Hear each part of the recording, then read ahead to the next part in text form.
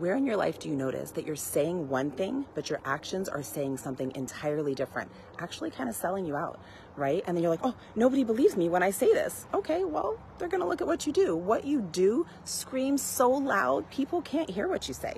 Let's say you have a former partner or former friend that you've had a falling out with and you don't want to talk to anymore. And you all keep going circles in the same arguments, defending yourselves and explaining and justifying.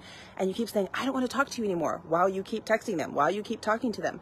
You know what's going to really send a clear message that you don't want to talk to them anymore? Stop fucking talking to them. Put your phone down, hang it up, quit texting, block them, whatever it takes. But you continuing to argue with them and continuing to say, I don't want to talk to you anymore, is talking to them. So you're doing the exact thing you're telling them you don't want to do. And then you're shocked when they don't believe you or when they keep talking to you, right?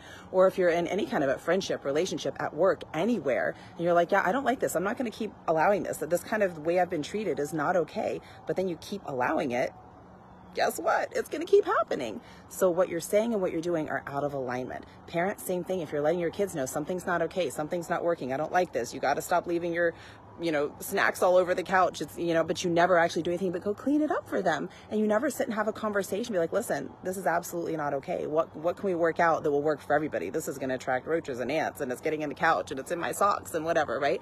You've got to have the conversation. If you never actually address it and have your actions back up your words, no one's ever going to believe anything you say, including you probably, right? So I'm just going to ask you to look at your life look at somewhere that people are not believing what you say and notice like oh what are they believing that i do? What have i been doing that's way more convincing than anything i say?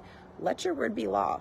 Only say what you really mean. When you say something fucking mean it and then back it up with your action like do it or just do it first and then tell people later. Then i promise they're going to believe you.